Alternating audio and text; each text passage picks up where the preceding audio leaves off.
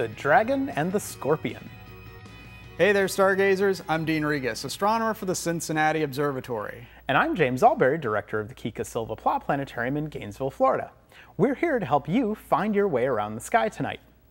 Hey, Dean, what's scarier, a dragon or a scorpion? Scorpion? Where? Where's the scorpion? Oh, right. I forgot about your deep seated fear of scorpions.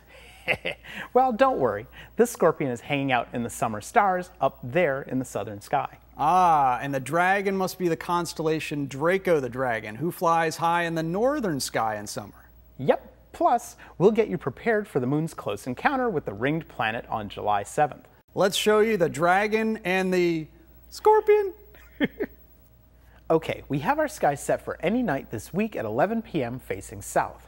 Scorpius is one of the few constellations that actually looks like its namesake. You won't need to strain your imaginations to see a scorpion in these stars. Scorpius scuttles just above the southern horizon as a long fishhook shape of stars. The curve marks the scorpion's tail and stinger. You need more imagination to see his body and claws, but there's his red beating heart, the red supergiant star Antares. Antares has inspired observers for thousands of years. It means rival of Mars because it's similar in color to the red planet. But it's nothing like Mars. First, Antares is a star and Mars is a planet. Second, Antares is one of the largest known stars in the galaxy. This is what Antares would look like next to our Sun. Mars would be too small to show on the screen. Yikes, that's a huge star. In mythology, Scorpius was the slayer of Orion. Of course, we all know about Orion's belt of three stars, but Scorpius has three stars almost in a row. You can find them at the head of the scorpion. Okay, they're not quite lined up like Orion's belt, but still they're easy to find.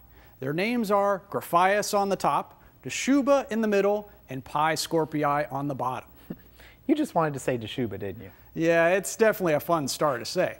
Plus, Dschubba is a variable star. That means it changes its brightness from time to time. Okay, now let's look to the northern sky and go dragon hunting. Draco the dragon lurks in the north with her tail beginning between the Big Dipper on the left and the North Star right there. If you're having trouble finding the North Star, use the brighter stars in the Big Dipper to point the way. Shoot an arrow from the two stars at the end of the Big Dipper spoon and continue that to the right, and bingo, you'll run into the North Star. You'll need a dark sky to see the dragon's tail that coils around the Little Dipper. So let's zoom into the dragon's head, which holds the brightest stars in this monster constellation. Three semi-bright stars mark his head in a neat triangle. They are in order of brightness, Eltanin, Rastaban, and Grumium. And if you're in a darker sky, you might be able to make out a fourth. You just wanted to say Rastaban, didn't you? Yep, I like my quirky star names. to the Babylonians, Draco was the she-dragon Tiamat. She's said to have had a body seven miles long and a mouth as big as the sky. Along came a god named Marduk who slew the great beast with a bow and arrow. Marduk then sliced the dragon in half, one half becoming the earth and the other becoming the heavens above. Okay, so now we've fast forwarded in time to the night of July 7th, and the moon is just to the right of the scorpion's claws. Can I pronounce the star names this time? Sure, these are some good ones. Okay. Above the moon is Zubeneschamali, and below it is Zubenelgenubi. Yes, and right next to the moon is the ring planet Saturn. Wow, they'll be really close together that night. They'll be about one degree apart on July 7th, and maybe, just maybe, you could see both the moon and Saturn at the same time in a small telescope.